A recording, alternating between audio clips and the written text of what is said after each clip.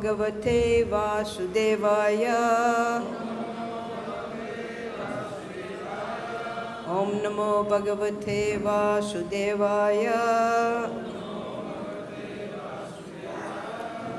Today we're reading from Srimad Bhagavatam, Canto 10, Chapter 60, Text 40. The title of the chapter is Krishna Teases Rukmini. Jadyam vachastava gagra jadyastu bhupan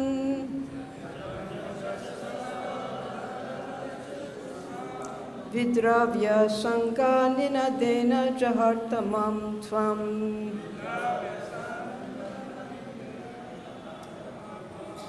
We'll start over.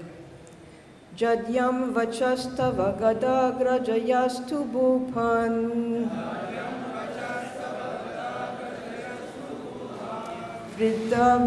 sanganinadena jahartamam tvam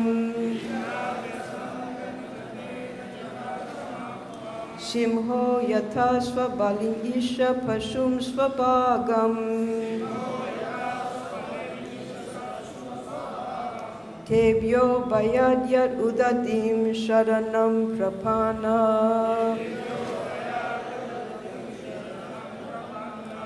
Jadyam vachastava gadagraja yastu bhupan Vridravya shanga ninadena jahartamam tvam Simho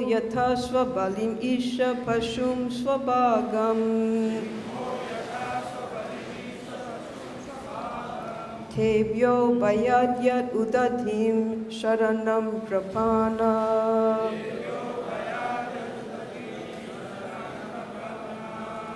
Jadyam vachastava gadagraja yastu bhavabhupan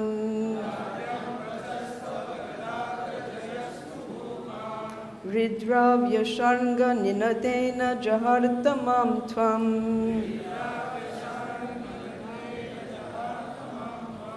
Simho yatha svabalim isha pashum svabhagam Tevyo bayadyat udadim sharanam prapana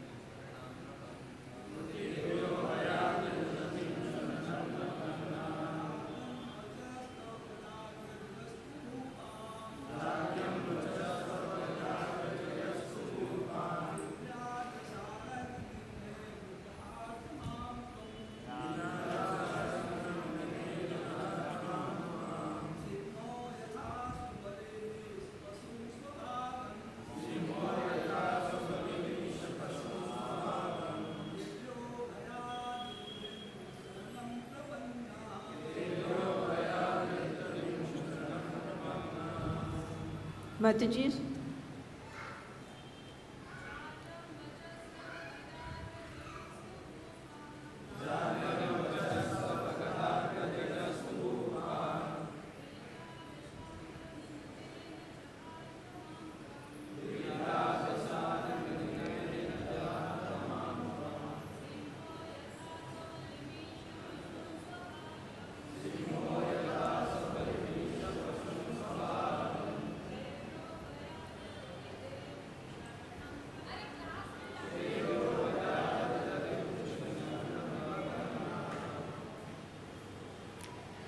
Jadya,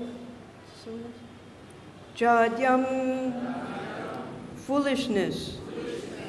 Vachaha, words. Tava, your. Gadagraja, O Gadagraj. Yaha, who? To, even. Bhupan, the kings. Vridravya, driving away. Sharanga, of Sharanga, your bow. Ninadena, by the resounding. Jaharta, took away. Mam, me. Tvam, you. Singha, a lion. Yatha, as. Sva, your own. Balim, tribute. Isha, O Lord. Pashun, animals. Svabhagam, his own share. Tebya, of them. Bayat, out of fear. Yat, that.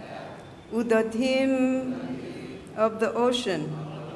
Sharanam prapanaha, took shelter.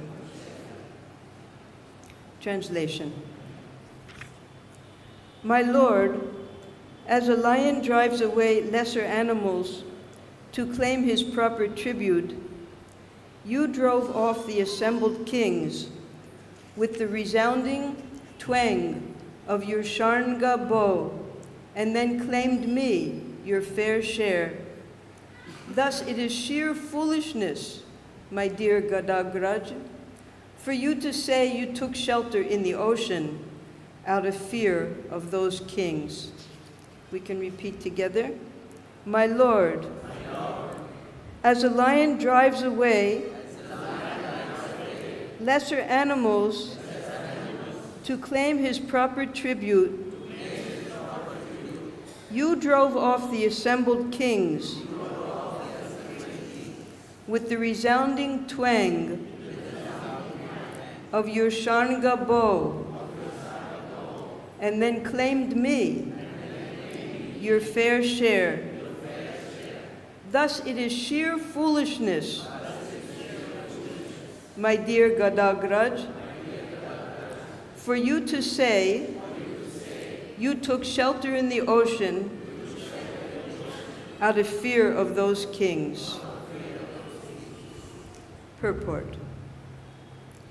In text 12 of this chapter, Lord Krishna said, Rajabhyo Bibhyatha Subru Samudram Sharanam Gatan. Terrified of those kings, we went to the ocean for shelter. According to the Acharyas, Lord Krishna finally provoked Rukmini's anger by glorifying other men who might have been her husband and thus in an agitated mood, she here tells him that she is not ignorant, but rather that he has spoken foolishly. She states, Like a lion, you abducted me in the presence of those kings and drove them away with your Shanga bow. So it is simply foolish. Padaya Krishna Prashtaya Bhutale Shrimate Bhakti Vedanta Swaminiti Namine Namaste Saraswati Deve Gauravani Pracharine Nirvishesha Shunyavadi Paschatya Desha Tarine Jai Shri Krishna Chaitanya Prabhu Nityananda Shri Advaita Gadadhar Shivas Arigor Bhaktavrinda Hare Krishna Hare Krishna Krishna Krishna Hare Hare Hare Ram, Hare Ram, Ram Ram, Hare Hare. This is a very significant sloka in this chapter. The chapter has 59 slokas. About 30% are spoken by Sukadev Goswami because he's setting the scene every time Krishna and Rukmini exchange their conversation. First, he sets the scene, how beautiful the room is where they're seated. Then he sets the scene when Krishna decides to speak and convince Rukmini that she should divorce him and get a more suitable husband. Then Sukadev Goswami describes Rukmini's reaction to Krishna's words, how she faints, falls to the ground, and then Krishna apologizes, explains that he was just trying to make her angry. He wanted to see her in an angry mood.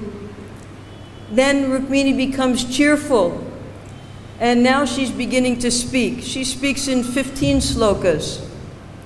And number 34 begins her speaking. Now we're up to 40. So 40 and 41, Rukmini has reached the peak of her anger as much as she can express to Krishna in her humble mood. So in this particular sloka, there are many important words. Uh, Rukmini, she's highly educated. She's Lakshmiji herself, who's eternally at the side of Narayan. And we remember that originally, at the very beginning of the 10th canto, it starts out when Bhumi Devi, she was so distressed by these very same kings that Krishna is trying to glorify in telling Rukmini she should marry. Bhumi Devi goes to Brahmaloka and appeals to him that these kings, they have no devotion to Krishna, to the cows, to the Brahmins, they sell the mantras, they sell the holy name of the Lord. I can't bear the weight of this burden.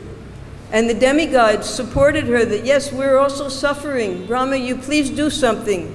You're our protector in this universe. Brahma, he went to Lord Shiva. They both went to Narayan in Vaikuntha. Narayan was sitting with Lakshmi Devi and Saraswati. Narayan recommended at that time that you should go to Goloka and speak to my master and ask him to come and help you. So then they went to Yamaraj and asked him to come along because he's the he's Dharmaraj. And the three of them went to Goloka to approach the Supreme Lord Krishna. They had a beautiful darshan after crossing the Viraja River of Vrindavan, which is the dearmost of Krishna's planets upon which we are so fortunate to serve here in Vrindavan. And after entering many, many gates, they finally came to Radharani's palace where Krishna and Radharani were sitting together. And they made their appeal, offering many beautiful prayers as we find in the Srimad Bhagavatam 10th canto. And Krishna agrees. He says, Yes, I will come, and I want you all to come with me. And at that time, he set a cast of characters because Brahma said, well, You want us to come, but what should we do when we go there? And Krishna, he told them that, for instance, Lakshmiji, you will become Rukmini, you will take birth in the home of Bhishmaka from Vidarbhi, his queen, and I will come to Kundina and I will marry you. Radha, you will go to the home of, Brishabhanu and take birth, and we will be separated for 100 years because of a little argument that she and her brother Sudama, Sridama had. They cursed each other. Then he told all of the demigods that um, Indra, your Ansh will be Arjun, and Vayu, your Ansh will be Bhima, Yamaraj, your Ansh will be Yudhisthira, but you yourself will come as Vidura. Kali, your Ansh will be Duryodhan. Uh, and like that, he assigned each one of the demigods which parts they would play when Krishna comes to relieve the burden of Mother Earth. So now, Krishna is here playing his part.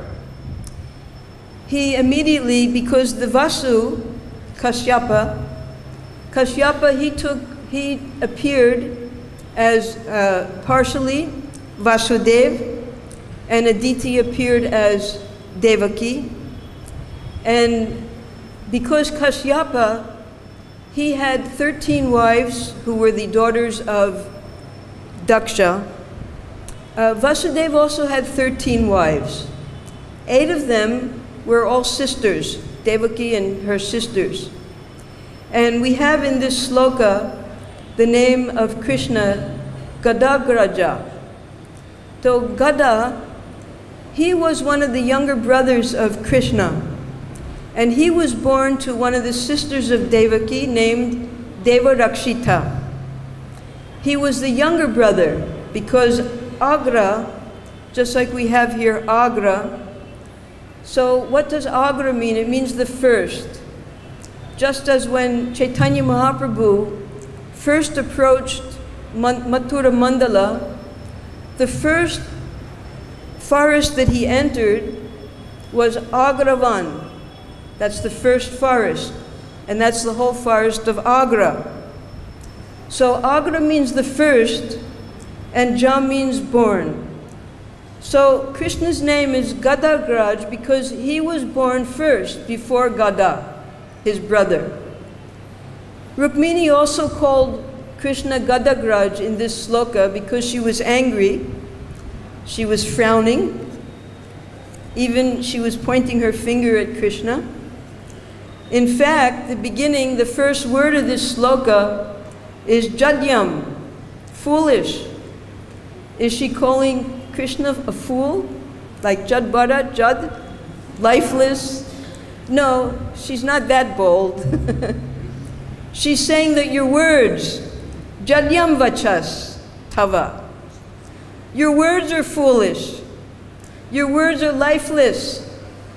Because everything you've said to prove to me that i am foolish and I'm unintelligent and I made the wrong choice I'm going to completely turn around and prove that your words are true because I made the right choice by marrying you.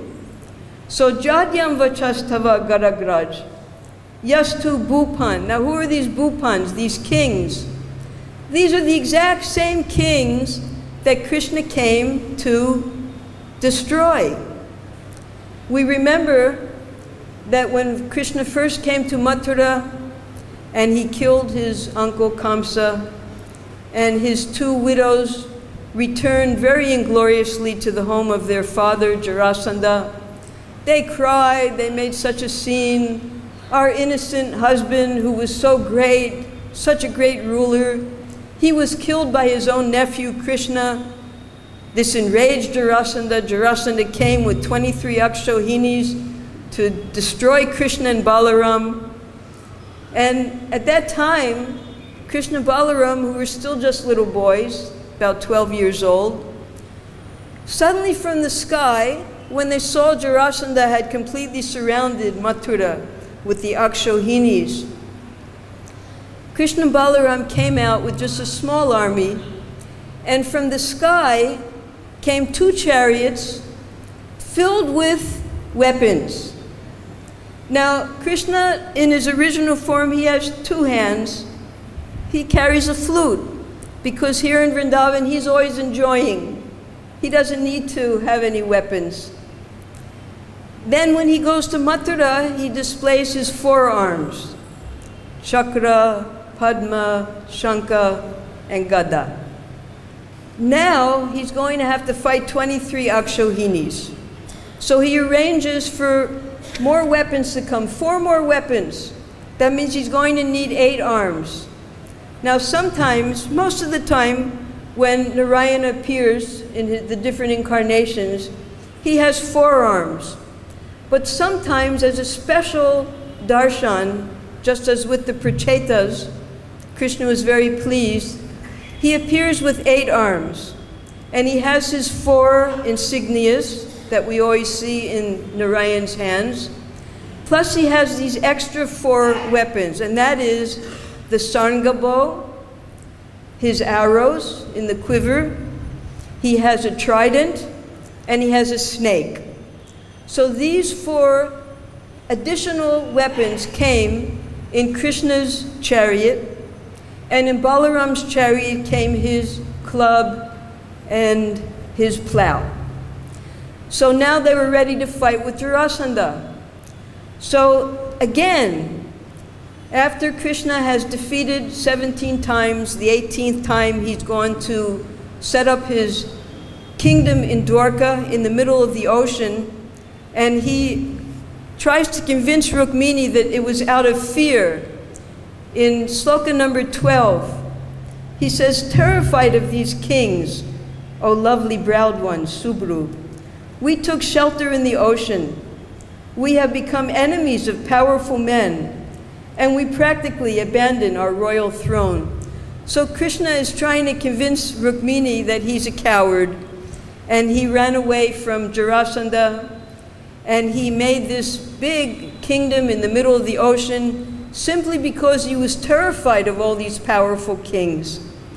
Rukmini knew better. she understood that these kings, and in the coming slokas, she, she practically calls these kings asses, asses because they get kicked by their wives, uh, dogs, dogs because they're always trying to protect their property and their homes, cats because they eat the remnants of their wives, and he even calls them next, he calls them uh, asses. Yes, A asses was first. Uh, slaves, yes, they're slaves to their wives. So Rukmini puts these kings in their proper place. And that's these bhupans. So then she goes on to say, uh, Vidravya, driving away with your Sharanga bow. Not, he didn't even have to pull his, he didn't have to shoot the arrows. He just twanged his bow. And fear went into the heart of all the warriors. So she was remembering, remembering what happened at the time of her Swayamvara. When he came, he had his Sharanga bow there.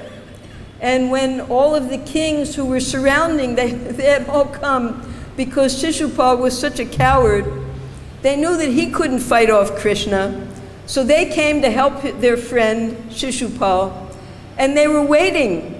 As soon as they heard that Krishna and Balaram had arrived, everyone knew there was going to be a fight, but where it was going to be, when it was going to be, no one was sure. So Rukmini, she pre-planned all of this due to her foresight and her intelligence. We heard yesterday, don't come to the palace because then there might be bloodshed. You come at a time when I'm not protected, I'm all alone, and you can easily take me away. So, what does she compare this to? Very nice example. Because we see here, we don't see so often now because of all the highways, but previously, 50 years, 100 years ago, even we saw this, we can sometimes see it when we're going to Govardhan coming near to Rajasthan, you have the nomadic tribes. Some of them, they have their herds of cows, some of them have sheep, and some of them have goats. Some of them have camels. They have no real residence, these farmers. They're not farmers either, they're nomads, they're tribes. And they wander from place to place, all over India, all over Asia and Europe actually, and um, they look for where the green grass is for their herds. And at night, because that's when the nocturnal animals, the predators, come out, because no one can see them. At night, the lions come. And there are dogs to protect the sheep and the goats and the cows, whoever they are, which uh, whichever animals. And there are men with their weapons but when a lion comes, there's not much they can do because no one can defeat the lions. So the lion, he comes amongst the herd and he takes his bali, his offering. the whole herd is offering one of the sheep, one of the goats, one of the cows. He takes it away. Not much of a fight. So this is what Rukmini is comparing when Krishna took her away from these foolish bhupans, these kings. They couldn't protect her. They had no power whatsoever. Just by twanging his bows, they became so frightened. Shishupal, he never even lifted a weapon. they tried to fight on his behalf. He took off their heads, their arms, their legs, the elephants, the horses, all dying all along the path. Finally, they all gave up. They, they noticed, where's Shishupal? Why are we fighting? And where's he?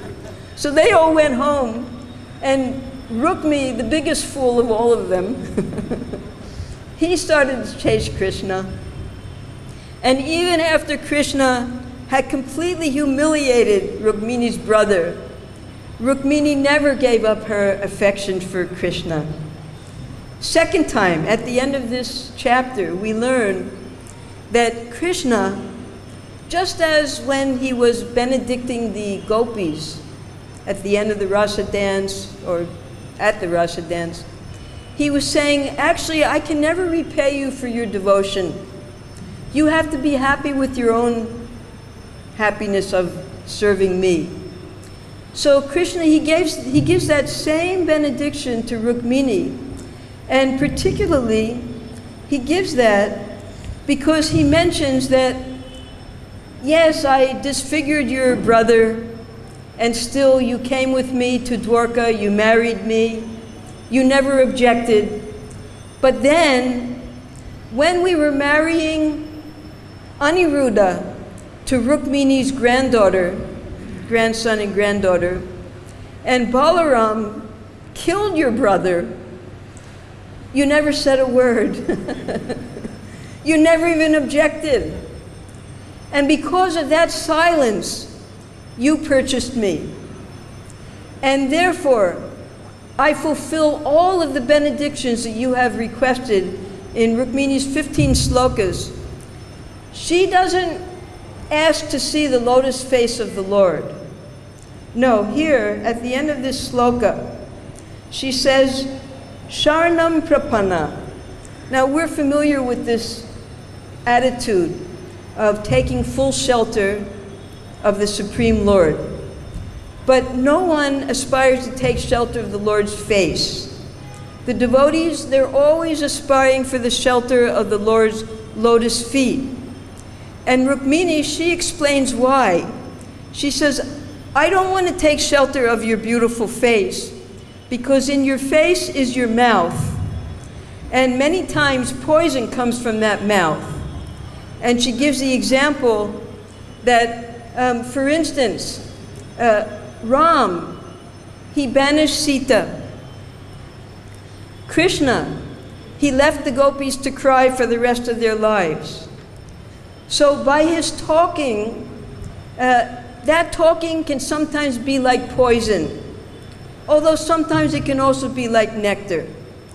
So Rukmini, she says, I'm not interested in taking shelter of your lotus face. I want to take shelter of your lotus feet only and remain as your menial servant. Now, this is Lakshmi Devi herself speaking. She is never separated from the Supreme Lord. She's always with Narayan, wherever she goes, wherever he goes. Now that's why, because from Srimati Radharani expands Lakshmi. From Lakshmi expands all of the Lakshmi Devis. For instance, the 16,108 wives that Krishna married. They were all expansions of Lakshmi, all Lakshmi Devis. So whenever Krishna comes to any of the planets in any form, Matsya, Kurma, Nrsingadev, anyone, Lakshmi Devi accompanies him. So therefore, in Rukmini's pure humility, she sees herself just like a mundane woman, as if she's taking birth. She's taking birth along with Narayan to accompany him as Lakshmi Devi. But she considers herself to be just like an ordinary woman taking birth to serve her husband. And not only that, Because another expansion of Lakshmi Devi, Rama, is Durga Devi herself. And when Narayan expands himself, lies down in the causal ocean, and wants to begin the creation of the mundane worlds in the Mahatattva, an expansion of Ramadevi as Durga appears before him, and he merely glances at her. It's a glance of passion, and that passionate glance agitates Durga Devi, from which all of we living entities are created in material universes. So Rukmini Devi, in her humility, she says, even your passionate glance, when I expand in the form of Durga Devi, that I accept so gratefully. And she reminds Krishna that previously, this is chapter 53, the second sloka, she says, You're telling me that you have no affection for family life, for me, for any of your duties. No one can understand your real purpose of life. But you admitted that you are thinking of me all the time, that you can't even sleep at night. So I don't believe what you're saying now because you're contradicting yourself. So after that, she's taken shelter of Krishna's lotus feet. Why the feet? Because Krishna explains, and all the other great saints, such as Havi, one of the Navayogendras, he explains that the devotees are able to bind Krishna's lotus feet in their heart with their love and their affection. The devotees always keep Krishna's lotus feet. And the Lord is so merciful that he comes, he brings his lotus, with his lotus feet, he comes closer to the devotees to bring them closer to him. So the best shelter, this Sharanam Prapanna, is to take shelter of Krishna's lotus feet. Now, there was another incident later when everyone went, all of the three different camps of Krishna's associates, they joined together for the first time in Kurukshetra because we've just completed the wonderful Rath Yatra. Krishna is now coming home to Lakshmi Devi in his palace in Jagannath Puri. So when all of the women were together for the first time in Kurukshetra, Draupadi, who was an, also an unks of Lakshmi Devi, she inquired from the principal queens that how were you able to get Krishna as your husband, Krishna, the Supreme Lord? And the first person she asked, of course, was the chief queen, Rukmini. And Rukmini, she very humbly explains how Krishna kidnapped her by twanging his bow. This bow is very important. He uses this as one of his principal weapons when defeating the kings. Uh, she, he just had to twang his bow, and he took me away from all of these kings. And then the other queens, they explained also. And the other, the other queens, in this description, these cast of characters that Krishna gives, he explains that uh, Jambavati, who is she, Shaibya, Mitravinda, he's telling each one of the gopis and the Lakshmis who they will be in his Leela when he appears as the Supreme Lord Krishna. For instance, um, Pradyumna, we know that's Kamadev, and Rati, his wife, that's Mayavati, and um, Kartikeya, Kartikeya is Shamba, that's the son of Jambavati. Now, how is that? Because in Ram Leela, Jambavan, Jambavan was Himavan. That was the father of Himavati. He wanted to take part in Ramachandra's pastimes. So he appeared as Jambavan. And naturally, the daughter of Himavan would be Parvati. So Parvati, she was Jambavati, and Parvati's son is naturally Kartikeya. So in the additional Puranas, such as Brahma Vaivarta Purana, where all of this cast of characters is very explicitly explained by Krishna, he explains who's who. And you're all going to come and help me, and I'm going to take my millions of gopas and gopis, they'll all appear here in Vrindavan. And I want all of the demigods to appear as warrior princes, because when I have to fight these bhupans, I want you all to assist me. So this is a drama Krishna explains to Brahma, Shiva, Yamaraj when they come to see him. He says that one moment in Goloka is equivalent to seven manvantars on the planet Earth. So Krishna's appearance here is just a drama. And he's bringing all of his devotees, all of his eternal associates along with him, and he's picking up the sadhana bhaktas at the same time so that they can prepare to go back to Godhead by taking part in his pastimes. Now, Rukmini, who never leaves the side of the Supreme Lord, uh, she does not enter into the pastimes of Vrindavan. She remains in Dwarka with Krishna and then returns to the Vaikuntha planets as the eternal consort of Narayan. So here, as she is displaying her anger to Krishna, not directly calling him foolish, but implying that your words are foolish, you never actually, out of fear, took shelter of the ocean. And she refers to when, because the word here, this udak, so we have Garbhodak, Shai Vishnu. We have, the first one is Karanadak. The word Uda is there. Uda means the ocean. Karana Shai Vishnu, Garbhodak Shai Vishnu, Kiro Shai Vishnu. So that Udak is there, the ocean. So she refers to when Krishna lies down in the ocean.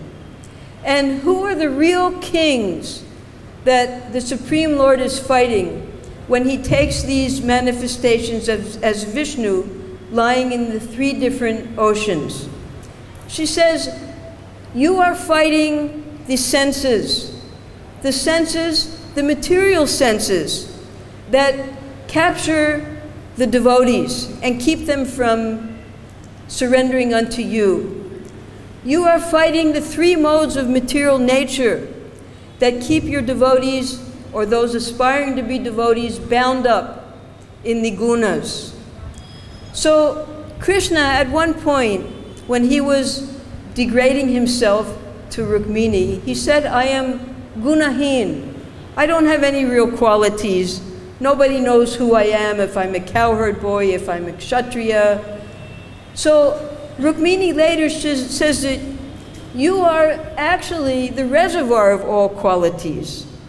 And she then turns around all of the 11 slokas that Krishna denigrates himself in, and she praises Krishna with his exact same words.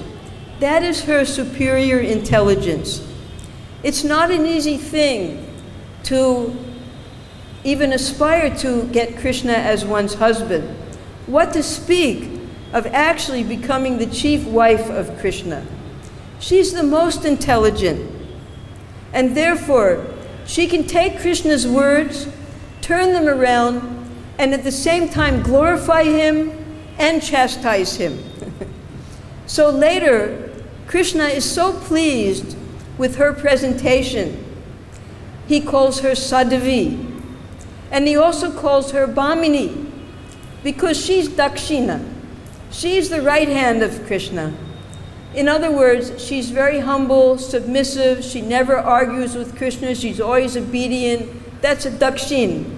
Even their Dakshin gopis, such as Chandravali, they won't argue with Krishna. They'll always be submissive and humble to his demands.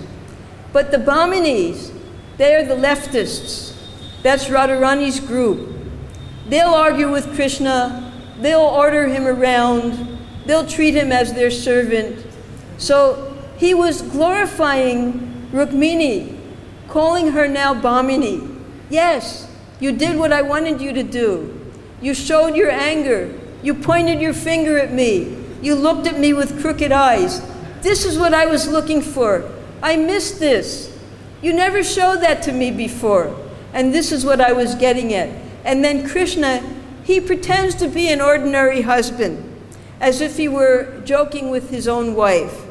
But these jokes, these are on a completely transcendental platform. And this we have to remember.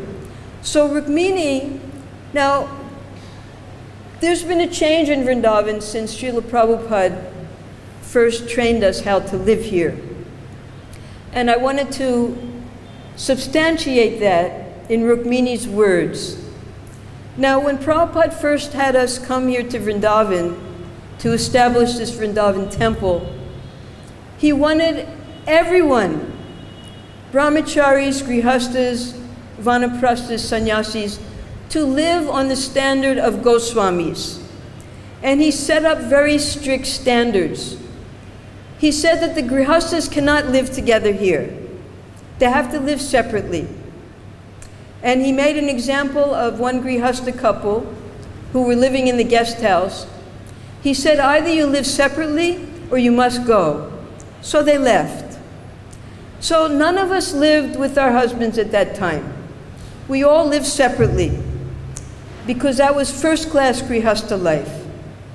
And uh, not only that, everything that we offered, everything that we had to cook, even in Grihasta life, was brought to the deity's kitchen and was offered.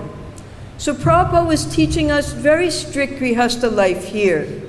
Not the kind of Grihasta life that Rukmini speaks about. She says that only a Rakshashi or a Pichach, Paichachi, that means the daughter of a Pichachi, would choose anyone but you as a husband. So we in Krishna consciousness, trained by Prabhupada, our, our marriages were partnerships. We were partners in serving Srila Prabhupada in his mission. And we didn't behave like ordinary grihastas did. We read the Krishna book and we read how these foolish women accept their husbands who were just living corpses uh, to be their actual husbands. There's no real husband except for Krishna. And therefore, she calls these women fools, uh, duplicitous, unchaste, and one should never take shelter of an, one should never give shelter to an unchaste woman. So Prabhupada trained us in our Grihasta life to actually see our husbands as partners in serving our spiritual master, Srila Prabhupada. And we saw each other that way when in good consciousness. Uh, one time, a devotee, I won't mention names, he sent a message to Prabhupada. Prabhupada was in Mayapur at the time. He sent a message to Prabhupada because they were living here because this Garbhadan Sanskara, Prabhupada insisted that everyone engage in Garbhadan Sanskara if they were going to have a child. And part of the Garbhadan Sanskara was that you had to announce and take the blessings of the Vaishnavas before you conceive a child. So this devotee in his innocence he wanted to perform Garbhadan Sanskara here in Vrindavan, and he sent a letter to Prabhupada asking for his blessings. When Prabhupada read the letter, he said, This is the greatest offense. He didn't allow us to even conceive in Vrindavan. That is how strict Srila Prabhupada was in keeping the Goswami mentality in our Vrindavan temple. He wanted the brahmacharis to be able to take shelter here, so that they would not be disturbed. He didn't want single women to be here. I'm telling you all of this because this is the chapter where Rukmini describes that our only real husband is Krishna. And anyone who thinks that their mundane husband is going to give them shelters is just befooled. They're just simply now another example. This saranga.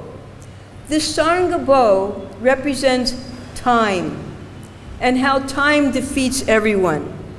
So Rukmini very explicitly in the coming slokas 45 46 she explains that any foolish woman who takes shelter of a mundane husband, that husband, he will be completely exterminated by the power of time, Krishna's bow.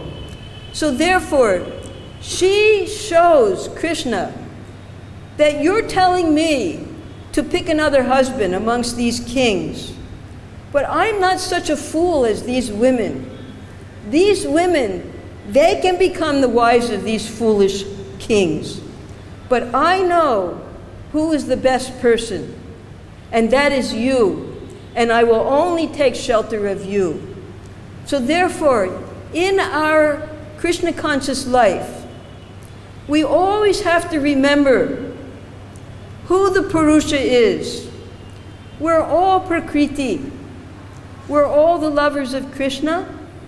No one should pretend to, in illusion, think that we have any other shelter in this material world other than the Supreme Lord Krishna. And Rukmini, in her exemplary intelligence and her harsh words to her beloved husband, proves to him that actually your words are foolish and my words are very intelligent because I will not take shelter of anyone but you, the Supreme Lord. I know you are the Supreme Lord. This is the difference between Vrindavan and Vaikuntha. I know who you are, and I will never take shelter of anyone as a false protector in this material world. I will travel with you everywhere as your consort. No matter what form you take, I will always remain with you as your eternal consort. So Rukmini is displaying in her 15 slokas the topmost Sharanam Prapanna. I will take shelter of no one but you. I've rejected my father. I've rejected my brother. I've rejected all the kings. I only take shelter of you, not even your lotus face, I only want to be your maidservant at your lotus feet. And all of the other queens, when they spoke to Draupadi, Gandhari, and the other women at Hastinapur, they only had the same prayer. Let me be a sweeper in one of Krishna's palaces. Let me take his foot dust. Let me be a simple maidservant as his wife. So our meditation even in Vrindavan, should always be Krishna is the supreme beloved, Krishna is our only protector, Krishna is our only husband, and all of our relationships that we have in this world, whether as wife, as husband, as mother, as father, these are our duties to our spiritual master. We have to perform our duties to the topmost perfection in the mood of Goswamis, give all of our attachment and our affection to Krishna. When we love Krishna, we love everyone. So automatically we will love all of our family members, all of our friends, all of our relatives, because we love Krishna. We have to put things in the proper perspective, just as Rukmini is doing here, and see Krishna as our supreme protector. Okay, thank you very much. Any questions? Hare Krishna.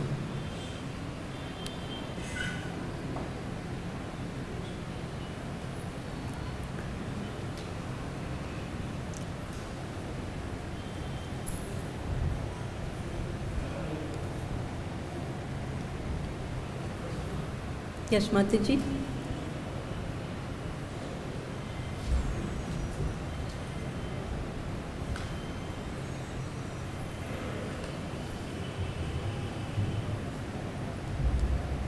Thank you. What to say that the people who said that we are a little bit uh, sectarian or hard because we take only shelter on Krishna and we only speak about Krishna? Some person around they said uh, we don't give them enough attention because we, uh, when we preach after, sometimes we are trying to speak about Krishna and lift them to Krishna. And some people they said, uh, oh, you become a little bit hard uh, to, or don't have enough time for us, or you are a little bit sectarian. How to answer to them if somebody uh, is coming a little bit too much? Or, Well, we're just repeating the words that Krishna says in the Bhagavad Gita. Man mana bhava madbhakto madhyaji mam namaskuru. So we're, we don't have any other message other than Krishna's message.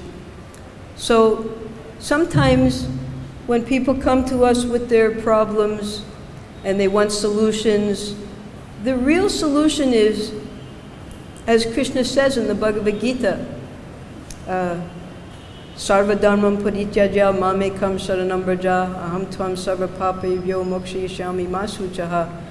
We can only give the solutions that Krishna gives. Uh, they might want some other solution, but those solutions aren't given by Krishna. So you can apologize and say, well, if you don't like my what I'm saying, which is in accordance with what Krishna says, then you can go to someone else for some advice. But I can't change what Krishna says. So therefore, anyone who comes, and many times we have to be counselors to devotees, they have problems, they're having fights, they're having uh, disagreements. We always have to give them the same answer as Krishna gives in Bhagavad Gita. You take shelter, both parties take shelter of Krishna, and then all of your arguments, all of your disagreements will evaporate. So that's the real solution to all the problems in the world to take shelter of Krishna. We shouldn't be embarrassed. We shouldn't compromise.